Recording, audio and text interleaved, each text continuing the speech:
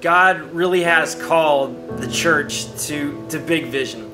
And whenever I, think about big vision, growing up on the east coast of Florida, being right across the river from where the space shuttle went up, I always think about NASA. I think about the, the Kennedy Space Center. I think about people like like John F. Kennedy that, that, that, set out and said, you know what, we're going to, by the end of this decade, put a man on, on, the moon. And when he said that, that wasn't even possible.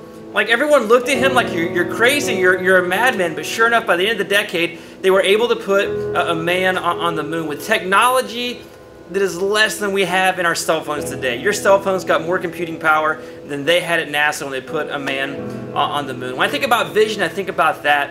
But you know, as much as I, I love the Space Center, as much as I'm a, a space junkie growing up on the East Coast, at the end of the day, when it comes to what the local church does, it pales in comparison.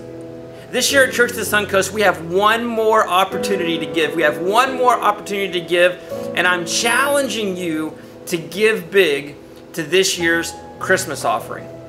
The Bible says in the book of Exodus, it says, Do not hold back offerings from your granaries or your vats. And guys, listen to me. The reason that there's a church of the Suncoast today, the reason that there's even a, church here is because we have people that are faithful. We have people that when they were challenged to give, they gave big. And because of that, there's a church here today.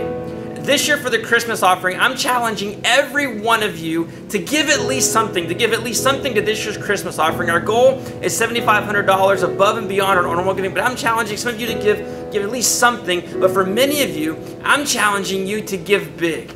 I'm challenging you to pray about what amount God would have you give and to give big. To not hold back your offering this Christmas for this year's Christmas offering. Guys, God is building his church here at Church of the Suncoast. I, I can't wait to see what he does over this next year and the coming years, but I'm here to tell you why not invest your money into this opportunity? God's building his church. We get to be a part of it, and we have one more chance to give this year.